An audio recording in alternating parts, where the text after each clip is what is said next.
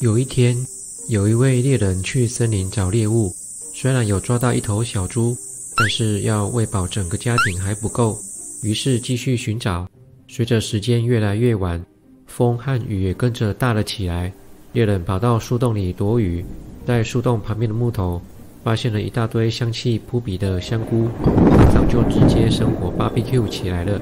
等到风雨变小，赶紧回家告诉家人这件事。嗨，大家好，我是辉。上一部影片有介绍菇类的种植环境与养分吸收的区别，有兴趣的话可以去看看哦。今天要说的是利用椴木来培育香菇的方法。目前大多数的香菇都采用太空包来种植，主要是因为椴木种植过程既复杂又需要大量的人工。早期的椴木来源有所限制，所以椴木的香菇种植不易，而且在种植的过程中需要有丰沛的水汽、日夜温差大、阴暗潮湿、无污染的生长环境。因为吸收木头数个月的日月精华产出的香菇，无论是品质，与香气都远超过太空包产出的香菇。如果你对日常生活的各种知识有兴趣，并且想要了解，欢迎按赞、分享与订阅哦，这样就可以收到最新的消息。接着要来介绍椴木香菇的种植方式。步骤一：选择合适的环境，四周的温度约二十五到二十七度，湿度约六十到七十帕，通风要良好。在这个空间。要能够方便搬运原木与产品的运送，除了要有水源之外，在种植时最怕白蚁与其他昆虫吃掉木头或者是香菇。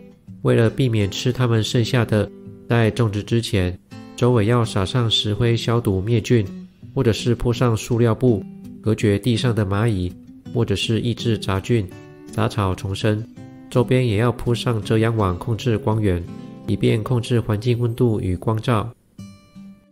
步骤二：选择椴木。椴木是香菇的主要营养来源。选择的条件以树皮厚、边材多、新材少的硬木树种。椴木的来源有很多，适合种植香菇的树种有相思树、枫香、杜英树等。如果木材里面含有乳汁或者是精油，则不适用。一般种植香菇的木头可以用三年。香菇从木头吸取养分后，木质会变得松软。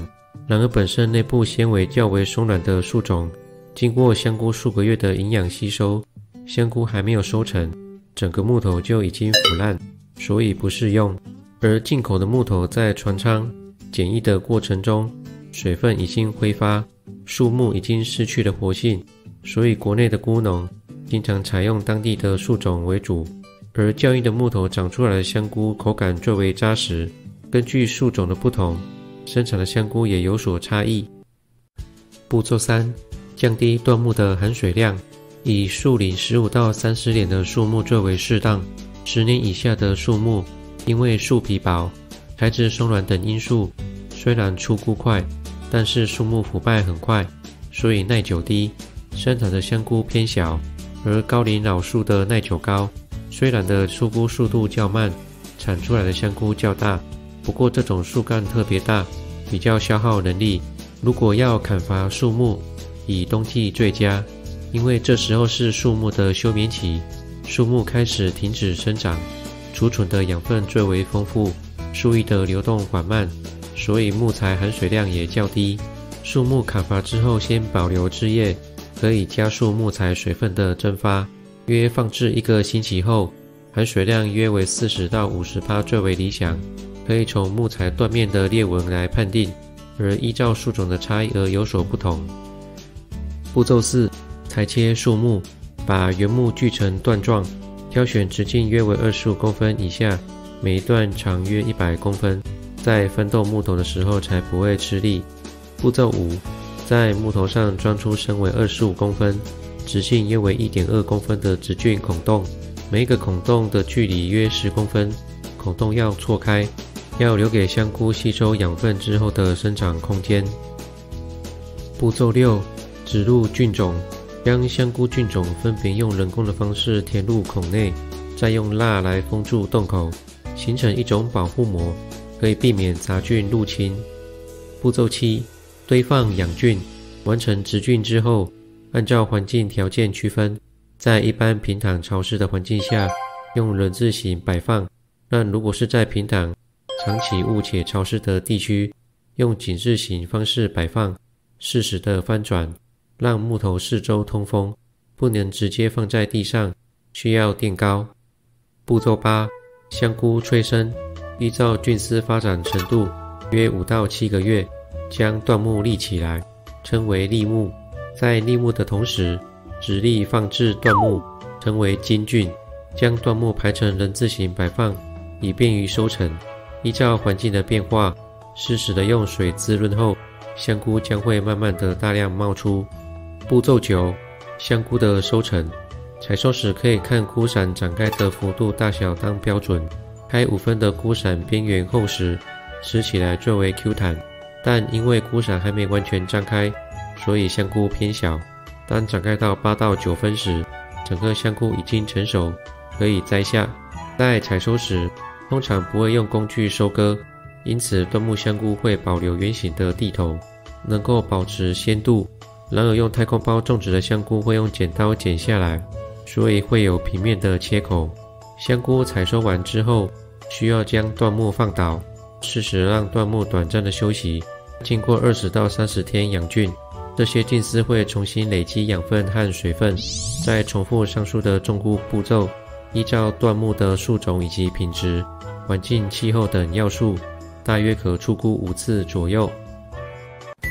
新鲜的菇类要怎么挑选呢？第一个，外观。选择菇形较完整的菇类，好的菇类外观有弹性，外观腐烂、碰伤或者是有斑点，则不要选购。而颜色过白的金针菇、杏鲍菇、袖珍菇等，可能有浸泡漂白水或者是后置加工。第二，气味，闻起来有酸味、霉味，都有可能是没有保存而受潮了。第三，触感，一般菇类摸起来若软烂。出水表示保存不好。第四，认证，如果外包装有台湾香菇协会的台湾香菇生产履历或 CAS 的标章产品，品质会比较有保障。那么新鲜香菇要如何挑选呢？第一个外观，在香菇的菇伞上有一圈绒毛，是菇类的菌丝体，绒毛是新鲜的象征。当香菇的鲜度逐渐消失。绒毛也会逐渐消失。新鲜香菇菌褶的颜色为米黄色。第二，味道，新鲜的香菇闻起来有清香味，如果闻起来有酸味或异味，表示香菇不新鲜。第三，外观是否完整，香菇外表完整比较能够保存新鲜。剪过香菇蒂头后，鲜度以及甜味会从蒂头散失，而且有剪过的香菇比较容易腐坏，不容易保存。干香菇要如何挑选呢？第一，用菇伞与菇柄的长度来判断。台湾在采集香菇后，会立刻烘干、快速脱水等加工，才能够留住最多的营养。因此，菇伞上会有明显的皱褶，而在采收的时候会留下一到两公分的菇柄。但是，中国菇农为了节省成本，会用日晒后再用机械烘干，脱水的时间加长的话。表面会平滑，没有皱褶。各位可以用这几个重点来判断。第二，观察香菇菌褶处的颜色，内面菌褶处的颜色是淡黄色到金黄色，颜色均匀，而且纹路清晰。第三，外观触感，干燥香菇因为含水低，摸起来会有干干脆脆的，质量较轻。烘干后的香菇一般湿度是十三趴，摸起来像饼干一样。用力一捏就会碎掉，但是如果烘得太干，湿度只有八趴，一碰就会碎掉。如果看到袋子里面有很多碎屑，就是太过干燥，而湿度超过二十趴，香菇就会容易发霉。第四，味道，一般干香菇的香气要吸收水分才会散发出来，闻起来只有淡淡的香味。新鲜的干燥香菇刚开封的时候，只有淡淡的烤坚果味道。如果闻起来有酸味，表示香菇已经变质。但是椴木香菇刚烘好的时候，靠近闻能够闻到浓厚的香味。